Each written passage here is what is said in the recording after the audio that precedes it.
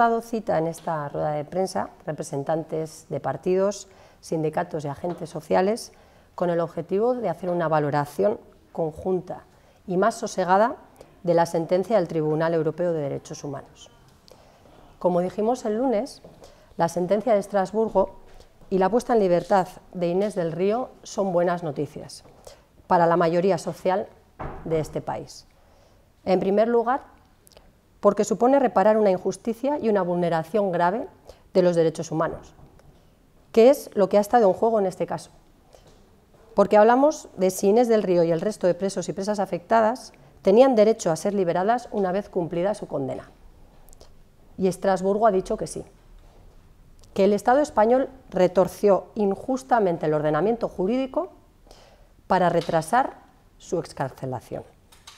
Y eso, aquí y en cualquier parte del mundo, es una vulneración muy grave de los derechos fundamentales. Queremos que quede claro que aquí no ha ganado ni Inés del Río, ni ETA, ni una opción política determinada.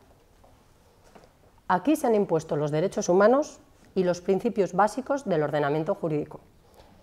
Y además es una noticia que entendemos alimenta el proceso de resolución y nos acerca a la paz. Por lo tanto, quien ha ganado es toda la sociedad vasca, pero también la sociedad española y la comunidad internacional. Aquí hemos ganado todos y todas. Creemos que es hora de invertir en soluciones. En definitiva, lo que estamos pidiendo es que se respeten los derechos humanos y que se dé una oportunidad a la paz en Euskal Herria. Prensorreko honetara alderdi, sindikatu eta eragile sozialen ordezkariak etorri gara.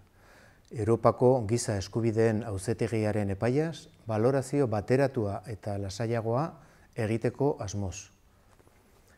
Estrasburgoko epaia eta Inez del Rio aske gelditzea albiste onak dira, herri honen gizartearen gehiengoarentzat.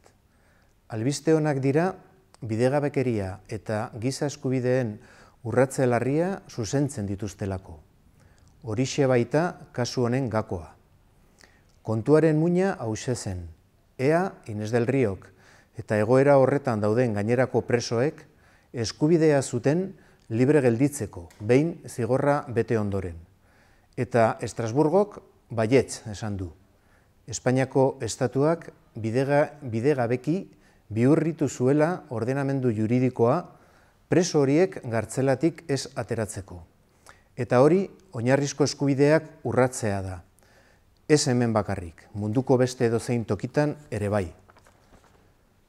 Hemen, garailea ez da Inez del Rio edo eta edo proiektu politiko zehatz bat. Hemen giza eskubideak dira garaile. Euskal gizarte osoak irabazi du, baita Espainiako gizarteak eta nazioarteko komunitateak ere, denok atera gara irabazian.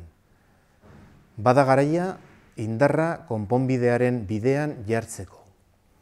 Hauxe da gure eskaera, errespetatu daitezela giza eskubideak. Aukera bat eskatzen ari gara, Euskal Herriak bakea izan dezan.